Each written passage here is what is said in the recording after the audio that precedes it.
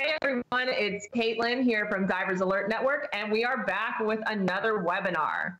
Today I'm here with three of DAN's doctors, and uh, for those of you who may not be super familiar with our doctors, these guys are working behind the scenes every time somebody makes an emergency phone call to DAN, or if people just call for a medical information inquiry. So likely you guys would be end up dealing with them on the phones, but they're also doing a lot of other work behind the scenes, which we'll get to here in a minute. Um, but just to give a brief introduction, we're here with Dr. Jim Chimiak. He is our Chief Medical Officer. Hello, everyone. And uh, we're also here with Dr. Matthias is the Director of Medical Services. How are you? Perfect. And we're also here with Dr. Camilo Saraiva. He is the Assistant Director of DAN Medical Services. Hi, everyone. So in a minute here, we're going to get to our presentation, and they're going to pretty much everything you need to know. And right after we're done with that presentation, we're going to get to a question answer portion. So if you guys have questions, which I'm sure you all do, go ahead and comment. We can at the end of the presentation. But I'll go ahead and turn it over to you, Matthias, and Thank you. Okay, so here we go. Let me start the slideshow. Okay. So, diving after COVID. So, what we think divers should know so far, based on what we know, right? So, what is COVID 19? COVID 19 is a disease caused by SARS CoV 2. So, that's why COVID, coronavirus disease 2019. SARS CoV 2 is a new virus of the family of the coronaviruses. This was first identified in December 2019 in the city of Wuhan in China. And it is responsible for the current pandemic we're all immersed in, the COVID 19 pandemic. So far, in 188 countries, there has been 5.6 million cases and over 350,000 fatalities worldwide. So this is where we are now. So things are not looking good, but at least we know they don't seem to be worsening. This is the number of new cases ever since this started. And these are the number of deaths. Again, it seems to show that there is a tendency to decrease. So that is something that we are happy about, and we hope it continues that way. So, what is COVID 19 and what is uh, this coronavirus? Well, this, what you see here, this is actually the culprit. This is the virus itself. Now, the name corona, corona in Latin means crown. So, if you pay attention and you have some imagination, you can understand that maybe this looks like a crown seen from upside, right? So, this is a tiny, tiny structure between 0.06 to 0.14 microns. Just to give a perspective on the size of this virus, so here we have the virus itself, and what you see here, this red blood cell, that's how it compares the virus to the cell. So this is several times smaller than an average bacteria, and a few times uh, smaller also than a red blood cell. Again, to give perspective, if a red blood cell is about the size of a Volkswagen, the coronavirus is about the size of a rat. So it's a really, really tiny structure. So what is a virus? A virus is a submicroscopic pathogen. It can, viruses can infect all forms of life. They are a biological entity, but they are not a living organism. Its evolutionary origin is unclear, and we can't say that a virus is alive or dead. They're actually active or inactive, and they can only be active once they are inside a living cell. And they can only replicate inside a living cell. So what we see here, that is the coronavirus or a coronavirus. We see those spikes. These are really, really important in both the pathogenesis and maybe a way to prevent infection. And then they have some other proteins on the surface of their membrane. And then they have the genome. And the genome in this case is packed with some proteins. So as you can see, the virus is just that. There's nothing else. There are no uh, enzymes, no metabolic activity, nothing. So in essence, a virus is an intracellular parasite. They need a cell to use the cell machinery to replicate. They use the nutrients, their enzymes, everything to just keep on replicating themselves. Some viruses will kill the cell in the process because they deplete them from nutrients, and some other viruses, they make it hostage and they continue replicating the cell until eventually we get immunity or uh, we outgrow the disease. So there are two types of viruses. Uh, we have the naked viruses and envelope viruses. Coronaviruses are envelope viruses. And this is important because at least what we know from regular envelope viruses, they tend to be less resistant to adverse environmental conditions. You have seen previous talks uh, from DAN about uh, surface survival of these viruses and why it is so important to eventually modify the, the environment to get rid of them. So all different types of viruses, and as we can see, eventually all of them, they either have a lipid membrane or they don't have the envelope, the lipid membrane. So what is that envelope? That envelope is actually part of the last cell the virus infected. So when they make uh, when they make this slave uh, this cell a slave, they take part of the cell membrane and eventually they express their own proteins on the surface to allow them to infect another cell. So those proteins you see on top of the cell or the virus, they are key because they're actually a key. They help the virus uh, find other cells and eventually infect them. So this is what happens, right? The virus touches a receptor, a specific receptor, and bang, you got infected. So both envelope viruses and non-envelope viruses, they have the same way. They do rely on those proteins on the surface to eventually get inside the cell and do what they have to do. So these proteins are likely what is going to be used to develop uh, vaccines. Currently, there is no vaccine, several trials underway. There's a lot of research in terms of coronavirus all over the place. Servers on journals are being uh, filled up with, with stuff that is pending review for, present, for, for publication. So from now on, please keep in mind, you all know things are changing as we speak. So everything we say here might actually change. So keep in mind and keep well informed. So as you already know, symptoms, they usually or they seem to be present within 2 to 14 days post uh, uh, contact with the virus, post infection. And the most common symptom is, of course, fever or chills, and then loss of appetite, fatigue, which is so far no different than a regular uh, flu. And then eventually, with some flu, we may have some respiratory symptoms coughing, shortness of breath, sore throat, muscle pains, loss, loss of smell or, or taste. That is something that has been recently added to the list of possible symptoms for COVID 19, and there may be others. Now, all these symptoms, including nausea, vomiting, diarrhea, and cardiovascular symptoms, they all respond to the virus can find that ACE2 receptor in many different organs and organ systems. Now, serious symptoms include trouble breathing, pain or pressure in the chest, new confusion, decreased alertness, and bluish lips or face. In terms of contagion, how, for how long can you keep on spreading the disease to others? Well, it is probably safe to say that within 14 days post-symptom onset, and this is conservative, you people may no longer be spreading the disease to others. Now, it is important to remember that most people are asymptomatic, so they may be spreading the disease without showing any symptoms. It would be easy to, to not get the disease if all you see is sick people. Well, you don't get near sick people. But again, since we don't know who is sick, that's who is sick. That is why we ended up in this lockdown, right?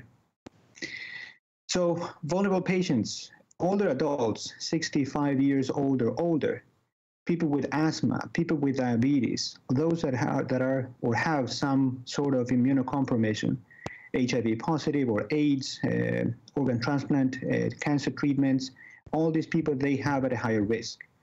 Uh, those at risk for severe illnesses like cardiac hypertensive, those that have chronic kidney disease or are under dialysis and liver disease. Now, keep in mind, if you have someone who is immunocompromised, they may have a different presentation. Why are we saying this? You may have a family member that is at risk, so don't expect them to show all the same symptoms we just reviewed. You have someone who is immunocompromised, most likely, or chances are, he or she may not show a fever. So they don't have a fever. You don't suspect they're sick. They do have a cough. And then when you send them to the hospital and they do some x rays, their lungs may be in terrible condition. So please keep that in mind. In terms of prevention, we think we know it spreads person to person. So social distancing was the first thing we implemented. It seems to spread more efficiently than influenza, but fortunately less than measles. So then the next thing we did was mm-hmm, good hygiene. As always, we recommend soap and water, and if these are not available, then hand sanitizer. It is important for people to know that hand sanitizer is not the right thing to do or the first thing to do. Soap and water, good old soap and water, is much more effective in washing out this uh, this virus. When you don't have soap and water, then hand sanitizer could be a good solution, although it doesn't clean, it just eventually deactivates the virus.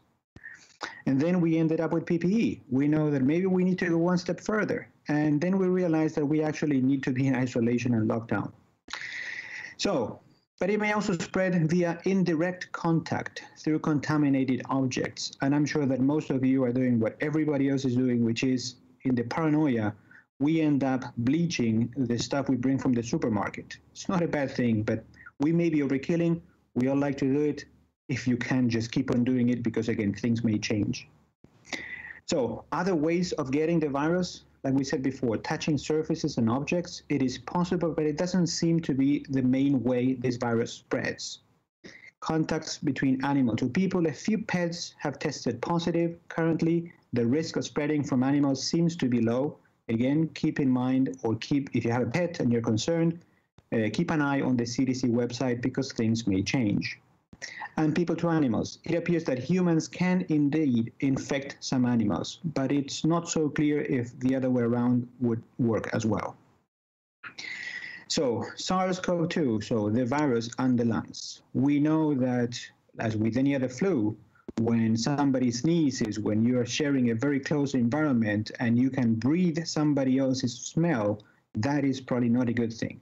Now, we all know that if somebody spits on you, that is not good. Now, not necessarily we need to be concerned about the big droplets of, of uh, spit. It's the microscopic droplets that are actually of concern to the point that some people are, or some scientists are now uh, uh, saying that this may actually be spread through just uh, talking, right? Sharing the same space or a closed environment and just talking near somebody else. Now, remember when I said that, uh, when I made this comparison, it is fair to say that the virus itself doesn't travel by itself, just naked. It needs a droplet of saliva, right? So this is why we insist on PPE, and there's so much talk about PPE uh, anything that you could use is better than nothing. Even a bandana is better than nothing because at least a bandana can stop your own spit from spreading it to somebody else. It may not stop the virus, but again, the virus travels in droplets, and droplets can be significantly larger, larger than the virus itself. We're not supporting or or endorsing uh, cheap PPE, but again, anything is better than nothing. So COVID and the lungs, like many other viruses, SARS-CoV-2 can cause pneumonia. The virus reaches the lungs traveling through these tiny droplets that we get them through our mouth or inhalation. Now, this virus is in the cells, in the airways and the alveoli. They find these receptors and eventually they invade these cells.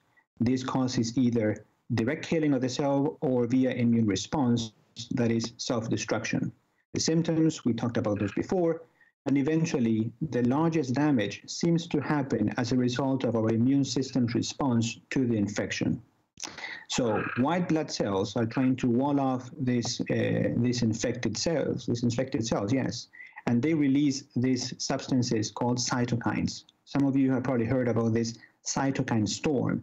So cytokines are immune modulators uh, they are mediators and they tend to modulate the immune response. So this causes inflammation, swelling, and the inflammation causes leakage of fluid into the alveoli. And when this happens, oxygenation is severely impacted. So what you see here on the left, that is a normal lung. That's a normal x-ray of someone who is just fine. And what you see here on the right is the lung of someone with a very serious lung caused by COVID 19. So let's look at the lungs, what they are. So, so this is a color enhanced uh, uh, scanning of the lungs. So what do you see here, I don't know if you can see the cursor, but those are the capillaries. And inside those capillaries, we see these bulging things. Those are red blood cells. So the red blood cells are going one by one in a line inside the capillary to get in close contact with the air. We would be actually standing in the alveoli and watching these red blood cells passing by. So you see the membrane is transparent. The membrane is absolutely tiny, really, really thin. So anything that makes that uh, membrane thicker will severely impact oxygenation. Here, that's a histological uh, preparation of the lung. And again, this is actually one red blood cell in a capillary, and this is the alveoli. Anything that can make those membranes thicker will severely impact oxygenation. And these are the type of cells that the virus is looking for. So the lungs are very, very delicate organs. Inflammation can eventually lead to fibrosis, and which causes stiffness and impacts uh, proper function. And it may also, the, all the swelling, all the cicatrization, all the healing may cause areas of poor ventilation, which for us divers are indeed a big concern. So this is not good for life, and it's not good for diving either. What you see here is a, a 3D model of a lung of COVID. So what you see there on yellow, that is damage. And that yellow is actually pus. So as you can imagine, this is not good for anybody's lungs, let alone diving. This could be serious. So COVID-19 and scuba. So a lot has been said. At some point, we even thought that we had the, the, the answer to COVID-19, right? So the lungs and COVID pneumonia, like any other respiratory illnesses, COVID can cause lasting lung damage. Acute lung injury can take several months to stabilize, not to heal, not to resolve, just to stabilize. Lung damage can only be assessed after stabilization. And at this point, there are no COVID recovered lungs that we can know or assess, well, this is what happens, right? Everybody that has had COVID so far, even if someone had COVID in January, their lungs are likely still recovering. So it is yet too soon to, to say if they are or are not going to be able to die. So COVID 19 pneumonia occurs in only a fraction of those infected. And the ARDS like syndromes, which is the, the worst presentation of this COVID 19, those cases are even fewer. This is not to say that we shouldn't be paying attention because the numbers are too small. Uh, this is concerning anyway. Even though the numbers are small, this is concerning anyway. So as scientists discover more about how COVID affects sick and recovered people, we continue to advance our general knowledge on how it could affect divers. So, so far, we must be prudent and we need to be really, really patient. Jim. Hi. Hi, I'm uh, Jim Chimiak. I'm the Chief Medical Officer. And uh, what I'd like to do today is uh, essentially uh, give you straight talk. I mean, j- exactly what's happening with COVID. Uh, in addition to my duties at DAN, I'm also an anesthesiologist uh, in a community hospital, and we are dealing with an active uh, COVID uh, population that we're dealing with from our assisted living homes and that sort of thing, and, and some of the folks with underlying medical conditions. So the this is widespread throughout the world, and certainly we need to talk straight about this. We want to give you know some good ad- advice here today. We don't want to add to the confusion, but rather just give some information that is uh, direct and, and to the point and limit that confusion. Um, and also want to, uh, as I'm talking here today, is also give you some really good changes that may be occurring to uh, diving as a whole, medicine as a whole. So as that comes upon, I'll introduce that um, um, that part of it. So here's an example of the heart of the problem, and this is the lung, this is the capillaries that surround them, and the idea of the cardiopulmonary unit. And one of the things we also will talk about is how the blood is actually interacting and becoming part of the uh, things that we're considering closely. So uh, the next point would be to summarize this in a pretty succinct slide here. And this is these are the issues. These are the five issues. The first one being prevention, and we've given enough. I think we've had a couple webinars on this and how to disinfect, and the idea of going after disinfecting and eliminating the virus. Um, this is a great point because going forward, it's not just COVID. This should be something that should have been done a long time ago. It's interesting to see some people say, "Hey, I have not uh, done disinfectant before," or, or, you know, how do you disinfect? Almost scary to believe. But the idea is you have to have a uh, to cover a whole host of microbes that are out there. So the idea that now we're raising consciousness by this that may we may have a better response going forward.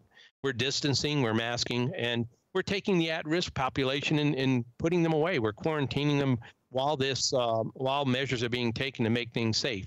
It's a balance of risk and you know benefit. The idea can we stay uh, all of us quarantined versus moving out and doing things. And it's those measures that are a, mo- a bit moving target. It may be confusing to folks but it's really skilled public health officials that are coming together and coming up and saying when can we release? When can we let people return? When can we open up things? So it's a very complex dance that we're uh, undergoing now and it's done by some very uh, talented individuals uh, the second part is the contagion, and that's just what it says. We want to limit those that are contagious and put them or keep them away from the general population.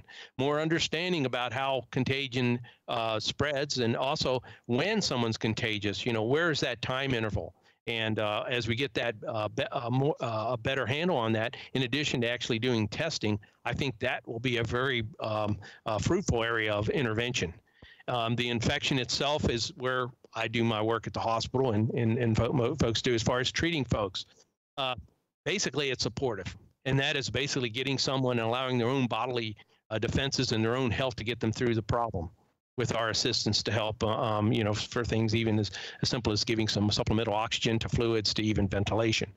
Um, that is something that is uh, um, that is uh, uh, evolving. There was look at some various medications. Many have been forwarded, look promising, and then have hit the dustbin. Uh, others still, there's some that do help. As you know, antivirals are very difficult to find one that's a uh, magic cure similar to an antibiotic. We uh, don't have that. The other is the vaccine, of course, that uh, we all hoped and and, and looks very promising, maybe by even by year end. Um, so the other uh, uh, problem with the infection is, of course, the complication. You have the infection portion to be able to uh, give advice to to divers, but it's the complications that you can have while you, while you have the infection. You can get a, a, uh, a secondary infection with a bacterial um, organism. You can have some of the problems if you were on ventilation, and just being the just the basic deconditioning all affects someone who's been infected the recovery itself is a is a, uh, a phased process. You may be sick enough to be in an ICU or even in a ventilator, but you'll downgrade in the hospital and be discharged while you're still ill, but being uh, covered at home. There are some that are asymptomatic.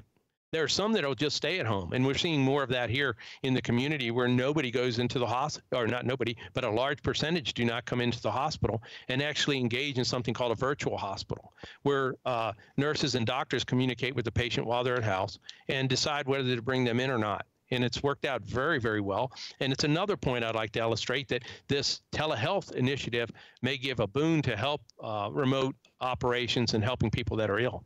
Uh, the other thing is recovery, and that's more complex and more uh, probably more variable, and it's dependent on the individual, of course, and the uh, course of infection that they had. So we have that aspect of it, and also we have the actual person's recovery as they're convalescing. Once they're turned over and they've convalesced, at this point they're staying with their doctors. They're staying with their intensivists, their hospitalists, they're discharged their family doc. Once they're, they're released to full, you know, or to exercise, they're beginning to exercise. At that point, they, they be when they reach full exercise capacity, meaning back to where they were at baseline, hopefully, uh, they're released and uh, uh, regarded as a return to, to their uh, normal daily living. That's where they see the return to diving, and that's where the diving doc will be will be seeing these individuals, and those folks will have. Um, uh, when the when a diving doc, when I see this individual, you'll have a host of information thank God to all the different things, electronic record and things of that nature, that we'll have access to a host of studies that this individual has already seen. There can be various organ systems that got involved or some complications that occurred, in addition to maybe a medical, a underlying chronic medical condition that has to now be taken into consideration and looms larger than it did before.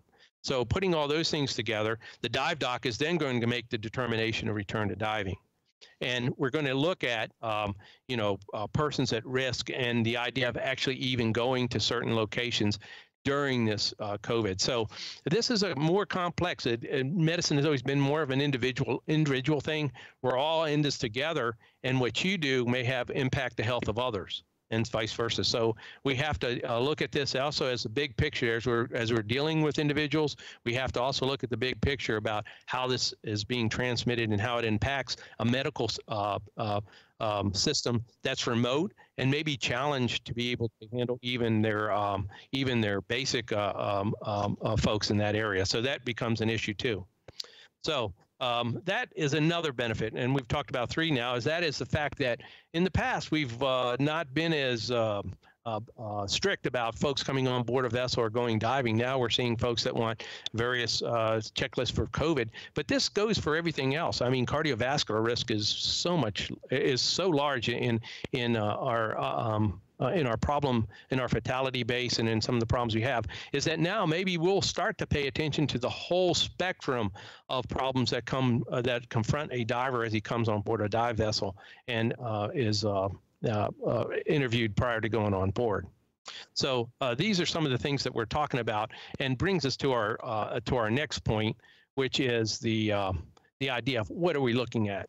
And for the most part, for, for COVID-19. These are the three main areas. Again, I said there you can have complications from the illness, and these things certainly have to be addressed. But pulmonary, obviously, it's a respiratory disease. It goes into pneumonia, can be complicated by ARDS. Cardiac is becoming a, is a is a, a, area of concern, and that is where there's actually um, a myocarditis or cardiomyopathy that may have occurred as a result. It could also be a complication of just being um, uh, seriously ill and uh, someone with underlying cardiac problems worsened by the disease itself. And final is the cardiovascular, and that's the thromboembolic embolic risk that we're seeing. We are seeing some uh, younger individuals, 50s, 50s, and and uh, in that age group, that we've actually seen some large vessel uh, embolic phenomena that have occurred. There is a, uh, a, higher, there is a coagulopathy that is just being understood and being addressed as we speak um, anticoagulation is oftentimes being prescribed. That obviously during this period of time is a certain, uh, certainly a, uh, uh, a, a reason for not to uh, to dive at that time. Um, the um, next point I'd like to make is the actual, and this is where I, I promise you at the very beginning, where I did not want to go out and say things that are not, we do not have the facts and to add to confusion. These are questions that are, are arising and that our medics are getting, and I'd like to address them. Uh, it, it, it, you get them so often. I'm hearing the question so often. It reminds me when I was a salvage diver in the Navy, we would pull up, we'd salvage uh, uh, a vessel, and the question came in is oftentimes you you didn't know it was down there and you couldn't see very well but you based your salvage efforts on past events what kind of uh, cable cabling you were going to use what kind of pumps and this sort of thing that you were going to use and you use that to attack the problem. Even though you don't know exactly what was down there you might be doing it by feel and uh, previous experience. And so I'm going to use that kind of logic and, and, and attack some of these uh, issues. One was oxygen, you know, the, the use of oxygen, the exposure being a concern, and I, I saw some recommendations for it. Uh, first off, I want to predicate it by saying it's never bad to be uh, conservative, especially as you return to diving after a long delay. So obviously, uh, lower exposures, uh, um, um, shallower depths, and that sort of thing, and, and dives that are not your uh, personal best, that sort of thing is always good. But the idea of limiting oxygen uh, to find a basis for that uh, is difficult because, as you know, in diving, it's a, it's oftentimes a, a, double-edged sword. I mean, you decrease oxygen exposure, you may increase your decompression risk. And then the idea is, is oxygen going to be an issue, giving that to someone who has had COVID in the past? And at this point, uh, hard to find evidence for it. In fact, as you all know, and this is a whole we, didn't want to cover today because it would probably take a whole section, is the idea of using hyperbaric oxygen in the context of acute um, COVID-19 injury, which is a subject of, of great investigation that will be taken up by the UHMS this summer. Uh, endothelial damage, we know that is because you know the, we do see that same ACE2 uh, receptors in, in the endothelium. We do see some uh, endothelial damage, and maybe part and parcel for the Virchow's uh, tri uh, triad of uh, of the coagulopathy that we're seeing. So there is some damage, but we think that the response, the healing, um, will be good and perhaps not a, not an, an, issue at all. more to follow on that. Hypoxia is always talked about, and that's the genuine problem that you hear so much about. The the reason for supplemental oxygen, uh, various devices, and then even even uh, the need to be ventilated. Um, this comes up with uh, with diving itself, and um, it, uh, this is something that does need to be evaluated, and it's part of that process that I that I mentioned before. When I say when someone's going to return to dive, they're going to do a couple things. They're going to recover. They're going to convalesce they're going to get their exercise capacity uh, back up to baseline, and they're going to do that obviously under their under the guise of their family physician or their their, their physician team, and then they're going to see the diving uh, medicine doc. And the idea of are you up to snuff? Are you able to do this? If we de- determine, hopefully it's caught by the family doc, that if we determine that despite all that you've done and you're still having problems, you're breathless, you're still not making the mark, investigation is definitely re- required. And we, it might be anything from chest X-rays, echocardiograms, CT scanning, PFTs, even uh, you know stress testing uh, in a, a, variety of labs that may under, find an underlying problem. But the, the measured approach of a history and physical, and then going forward and looking at it uh, from that point of view is wise. There's some folks that are actually having uh, various matrices to do that, um, and those uh, uh, uh, they even the authors of those say that these may change with time as more information is available. Which leads us to the to the next point um, that I'd like to make today, and that is um, the conditions are improving. we see it every day. if you if checking with the news, vaccines are, as I said, are being developed uh, at a at a fantastic pace.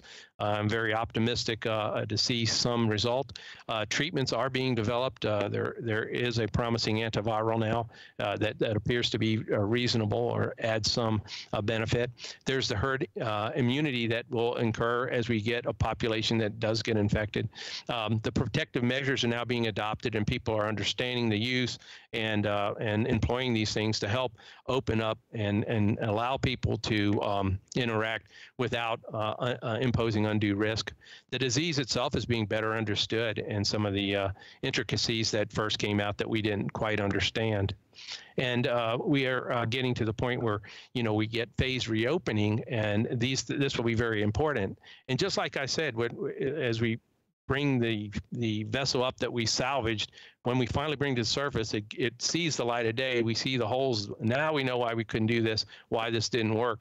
It almost seems the same way as we get more and more information, as we get more information on on divers who have recovered from COVID, and now we're even having divers that are diving and seem to be doing a fairly uh, doing fairly well in doing so, and, and not not uh, reporting any any problems, which brings us to the idea of the phase reopening and in, in the final step, and that is places are reopening, people are going forward, and they're looking at the risk benefit, mitigating those risks, and doing such wonderful things as I think. Uh, uh, uh, just shortly after our, our WebEx here today, uh, we'll be um, launching, uh, SpaceX will be launching and, and joining up with the uh, Space Lab here today. So I would like to go ahead and turn this uh, talk over to uh, uh, Dr. Uh, Saraiva uh, um, uh, and go over, you know, some of the and hammer home some of these points, and most importantly, to enlist of those divers with COVID-19 infection to contact DAN both to get information and for us to keep track and and also talk to you about your infection, and so it advances this um, segment, this this uh, what does what impact does COVID-19 have on on divers? So I'd like to um, go ahead and solicit that um, um, support from you all also, and thank you very much. Milo? Thanks, Jim. Uh, so the next big thing is what you do. So I had COVID and now I want to go back to diving, what you do. So if you had COVID, the first thing is that you have to keep your focus on your recovery and keep in mind your recovery can take from weeks to months. Once you are fully recovered, you can then get in contact with us and we'll be more than glad to refer you for your fitness to dive test.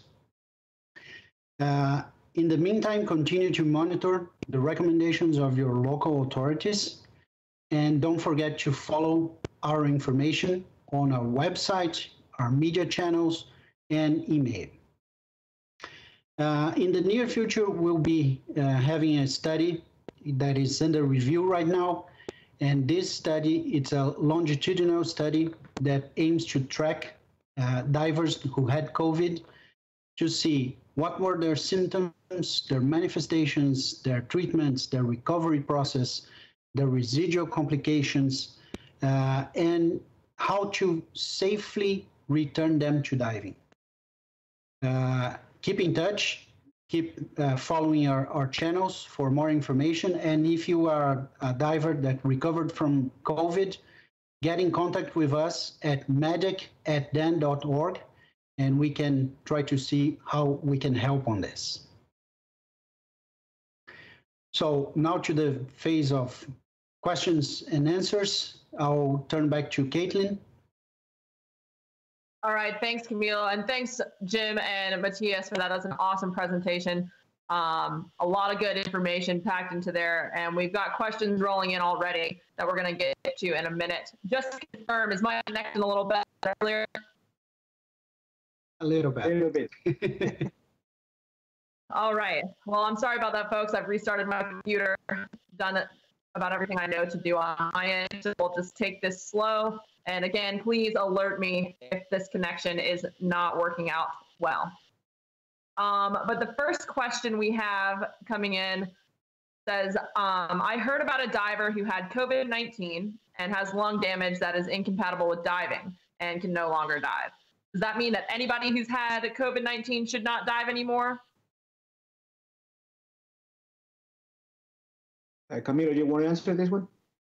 Yeah, yeah. We, we get it. It's a thanks for the question, first of all. And this is a question we get almost every day in the medical line.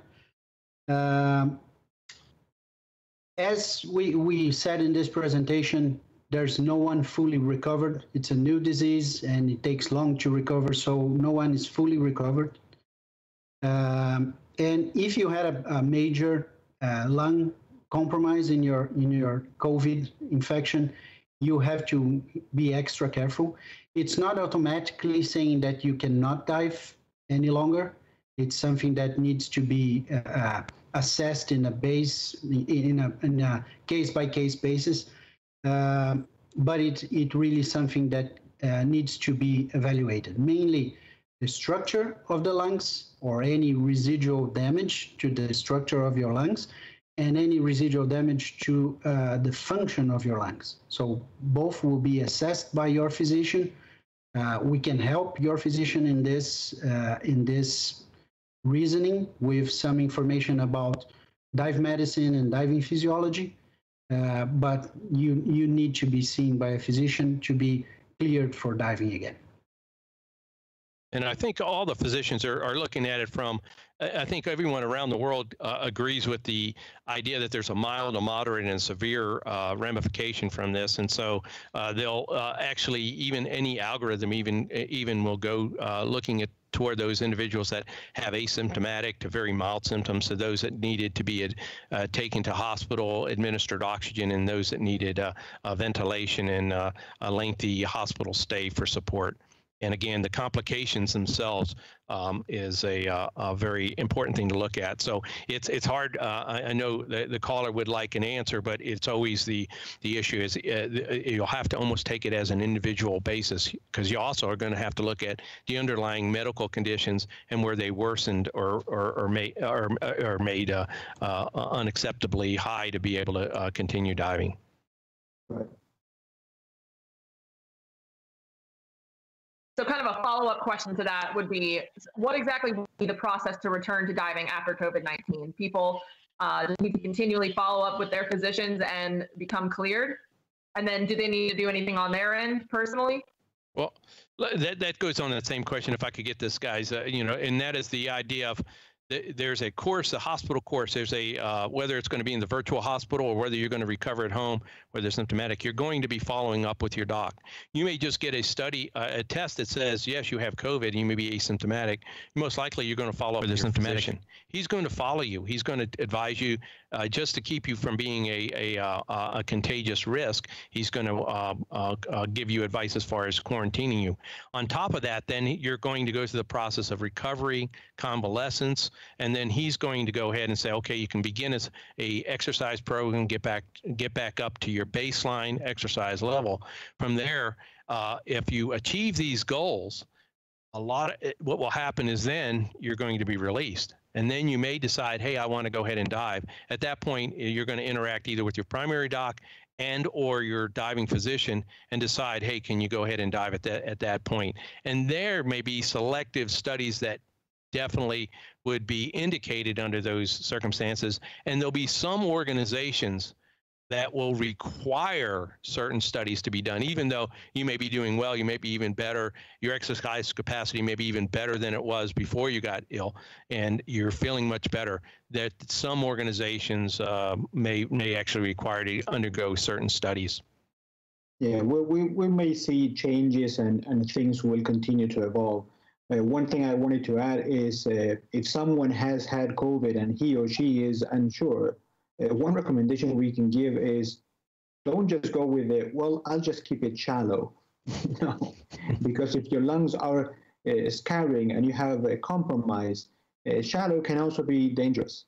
So please uh, ask and, and make sure that you're going to be fit to die, but don't assume and just keep it shallow That's a great point, Matthias. And it kind of uh, goes along with a question we got in from one of our audience members, Pause. He's asking um, so if there is permanent lung damage after recovery, can divers go back to diving? It's again depend on like basis, and they shouldn't try to justify more conservative diving. To- that's that's that's the million dollar question. But uh, the the the issue you're asking there, Caitlin, is uh, what is the severity of the injury? And sometimes uh, uh, what we'll do is we'll get some, uh, for instance, we'll look at the PFTs or you'll look at, at some mild changes on the lung.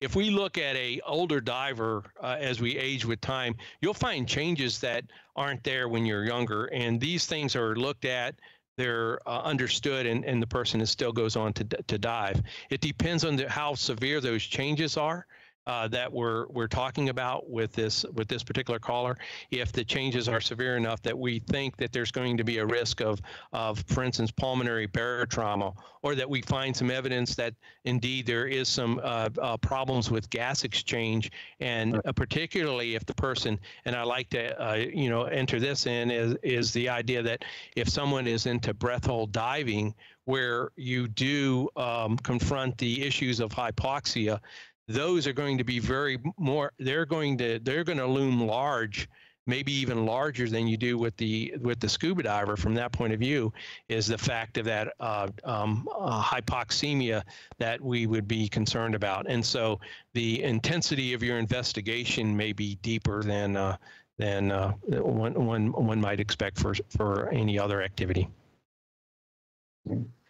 Gotcha and uh, we got a couple questions coming in kind of on the same topic. So I guess I'm going to loop them in together. It has to do with um, divers who are asymptomatic. So if you haven't had any symptoms and you, you don't know if you've had COVID 19, um, do you need to do any extra things before you go back to diving? Should you take a precautionary dive physical before you hop back in the water?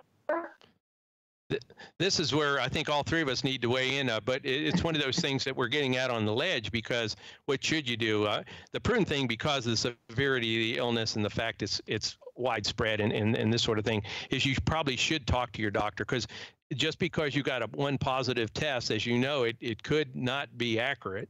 So one thing is to make sure, and then also to see if you're infectious. So you should be following up with your physician. I think this is a this is a, a, a disease, an infection that you should be followed by your physician and be released by him before you go on to diving. I don't think this is uh, you should be treated as a common cold.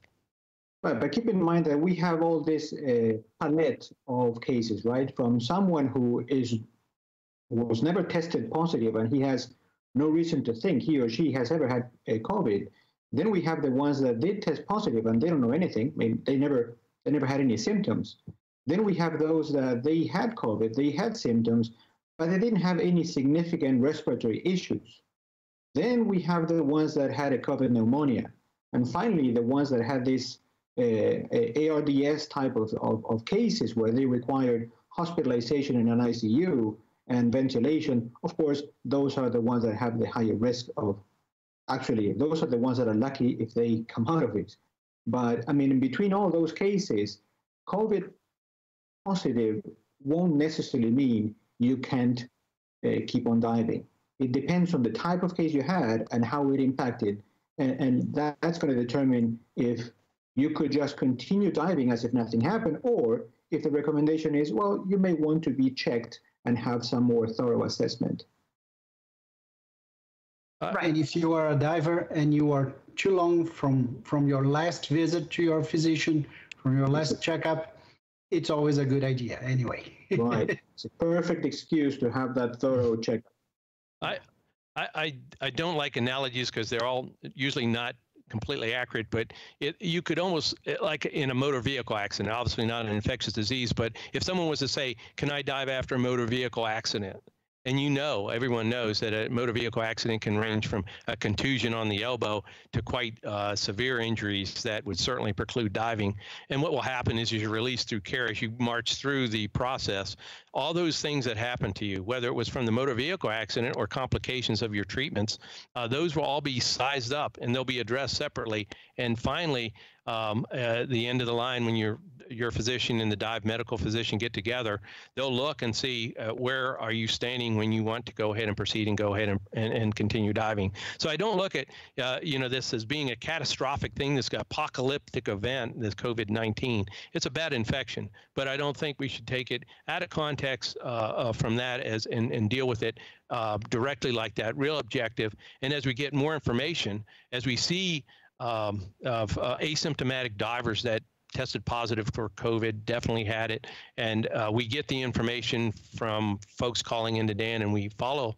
Uh, we'll have information that we can talk uh, um, um, more directly and more forcefully with. Gotcha. And kind of some more follow up on these. So here's a couple questions rolling in. Um, do we have any thoughts or recommendations on divers who work commercially um, on whether they should get antibody testing before returning to work, or um, on the other hand, for those of us recreational divers, some kind of known exposure or some reason to believe we could have no symptoms um, and no sickness, should they be getting tested for antibodies before they return Caitlin, this is this is one of the moving targets that you nobody would really want to even touch because the fact is, as we get more and more tests, and they even talk about even having home testing for yourself and that sort of thing. I don't know if it's going to get to that point, but the idea is you're seeing some in some critical in- industries now that they're testing the workers to get them on board so that they don't infect others. I would think that commercial diving, you know, the idea of going in bells, I'm I'm certain are asked astronauts uh, uh, are uh, have been. Uh, uh, te- I'm sure ha- there's been a testing uh, program and and a, a system in, in, keeping them in isolation to, to, allow them to do their job. So I, I, my guess is that's going to be something that will be part of the of the um, paradigm. But I can't say that for now because of the lack of widespread testing availability and that sort of thing, cost and, and things of that nature. But yeah, I could see that becoming an issue, and certainly with commercial diving or as you pointed out. Yeah, keep in mind that one thing is recreationally, right? We we have the right to do anything we want uh, within reason, of course. Now, when it comes to commercial, there are other things at play there. So there's responsibility from the employer. So these are the things that most likely we will see changes. And I don't think it's prudent for us or anybody to say at this point, well, this will happen or this won't happen.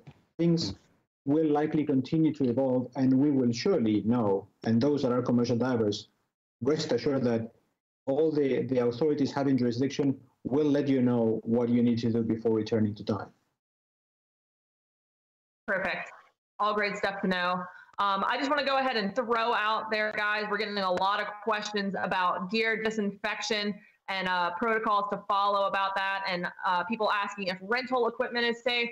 Um, just let you guys know, we've done an entire webinar series on uh, gear disinfection, and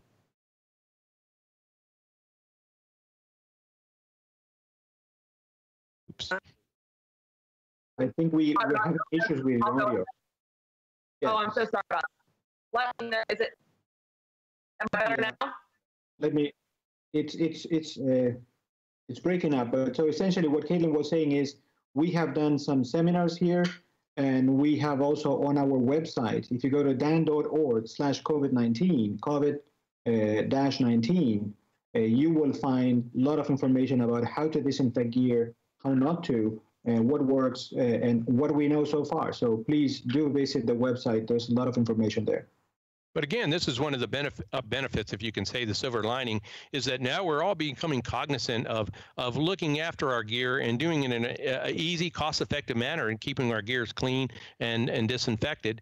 And so we don't have these epidemics that we hear about that are reported of uh, not only just uh, you know respiratory tract infections, but GI infections that occur on on liveaboards or even on larger cruise liners. That maybe there's going to be this uh, more um, intense where everybody thought it was somebody else's job to take care of these things. Now you're going to sit there and say, hey, we're all part of this. And the idea of keeping a cleanliness and cleaning gear and disinfecting ourselves. I've, I've noticed some of the, the uh, training agencies are saying, hey, let's incorporate disinfectant amongst the students now, not the instructor staying after hours hours after cleaning your gear. That they incorporate the students also to learn this uh, process, and so it's one of the, I guess, like I said, one of the bennies uh, uh, that may, may may come of this uh, pandemic. Yeah, and keep in mind also that when it comes to COVID prevention in a diving environment, uh, the most important do and actually the biggest responsibility is ourselves, us as divers, where we go and the questions we ask and what what are we forcing or, or, or encouraging the, the, the, the dive operators to do for us to keep us safe, right? And I think what Caitlin was saying when she, she got pixelated uh, is that we have an awesome uh, uh, presentation from our risk mitigation group two weeks ago, and it's live on, on it was a, a Facebook live and, and it's recorded, so you can access this too. Uh, as this presentation is going to be online after we finish, uh, there's this uh, presentation from risk mitigation two weeks ago. Take a look at, at this presentation. It's very informative. Right. Definitely very informative. Um, guys, I just tried switching to audio only. Is this a little bit better? Yes. Clear. So far, it's doing fine. Perfect. So um, a couple people are asking um, how they can use DAN to find a dive position. Can we go over that real fast? Yeah. This is another thing that we do every day, and it's not just for members, so it's for every diver. Uh, you can call the information line, uh, and you can have the one of the medics, one of us, to to uh, search for you. We have we hold the the largest database of dive physicians in the world. Uh, so call us. We will more than or send us an email to medic at dan.org and we'll be more than happy to send you the referrals in your area. Perfect. And we have one more question that uh, if we can get to you today. So um, Douglas is talking about, um, excuse me, not Douglas, my bad. I'm sorry, guys.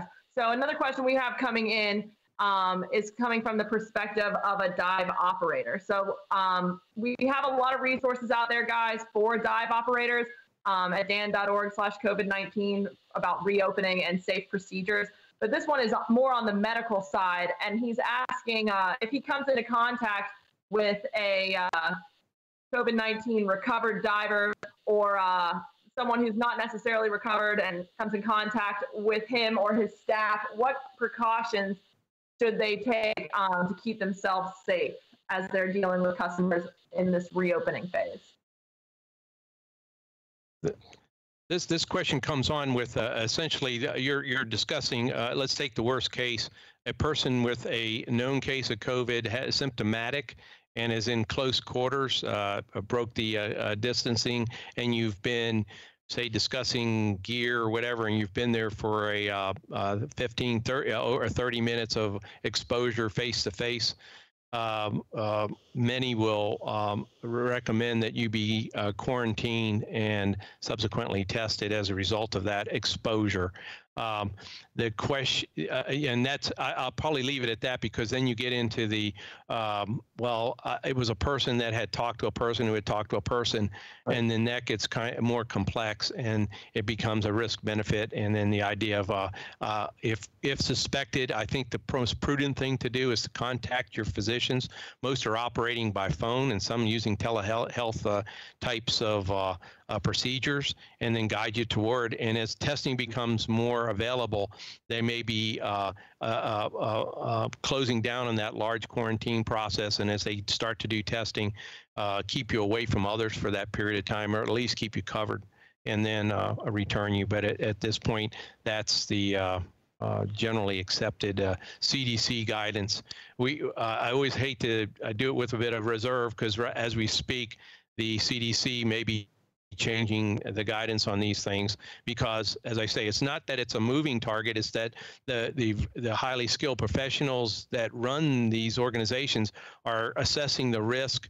And as the risk goes down or the incidence goes down the need to have some uh, very uh, austere very uh, intense uh, um, uh, measures become relaxed. And you're seeing that with the opening, and that's based on the incidents and how successful their their measures are now. So, uh, hope it wasn't too wordy on the on the response, but that's that's generally the way to to, to deal with that.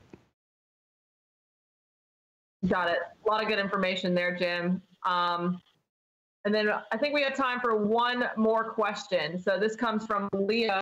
He said he uh, tested positive in March, negative in May never got hospitalized. Uh, he contacted DAN, and we referred him to a pulmonologist, and uh, he had an LFT.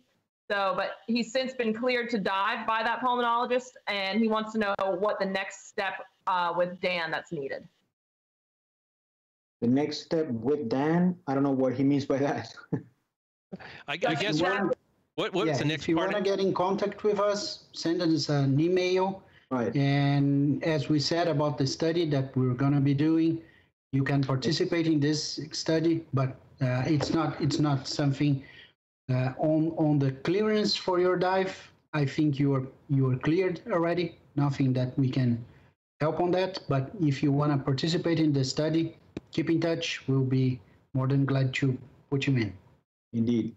Perfect. And, go, and just and go, one go, final follow up. Caitlin, can I one one uh, quickie is you have to as you're starting up. Please go slow. Start off conservative. Build yourself up. Take a look. Your gear's not been used in a while. You haven't been uh, active in a while. So go ahead and and and go ahead and perform some uh, rel- relatively conservative diving at first, just to get yourself back in the water. Um, and that's helpful also if you were to have begin to have some issues or some problems that were undetected by the investigations that uh, uh, preceded your clearance to dive. So that's what I would do. If there's any untoward type events, certainly report them. Which is true after any disease, right? Serious or not, just take it easy when you go back to diving. And if anything goes out of the normal, stop immediately and get in contact with us and or your physician. Right. All excellent points and information. Um, and then I just have one final question, and then we're going to have to wrap things for today. Um, but can one of you guys elaborate just a little bit more on DAN's study? Um, I guess specifically, so if people have had this disease, recovered, and they want to give us more information, what happens from there? Is it all anonymized? Uh, just a couple details on that, just to get people excited about maybe wanting to participate in the study, kind of what it means in the future. We we cannot say we cannot say much yet because, as I said, it's under review. But one thing that I can say, and this is valid for any study, uh, it's the highest grade of privacy, and all the information will be uh, kept under the most uh, uh secure system of, of data. So don't don't worry about this. Perfect. All right, guys. Well, it looks like that's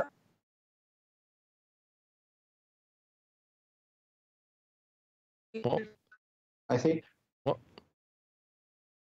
Well, Yeah. uh, th- thank, thanks everyone for uh, attending this webinar. We really appreciate it. And uh, as you say, stay tuned. I think this story is not over. The book has not been written. And as we get uh, better data, I, I know some fine physicians that are now publishing uh, real results, and they're very, very helpful. Uh, oftentimes reversing uh, what you may have read that was quickly and scrambled up on this on the uh, on the uh, internet. We're getting some great inf- great information as we start to build this up. We hope to do the same with specific for divers. And again, thank you for your support and your attention during this. Mateus, Camilo. and, and don't worry, Caitlin is okay. But so anyway, so thank you very much, and hopefully we'll continue doing this uh, these webinars and providing our two cents. Yeah.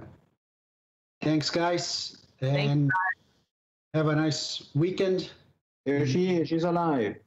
have a nice rest of the weekend, weekend, and see you next time. Thank you. Be safe.